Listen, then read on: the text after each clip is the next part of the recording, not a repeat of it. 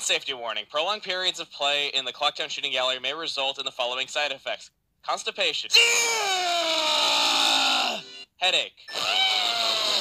Abdominal pain. Spasms.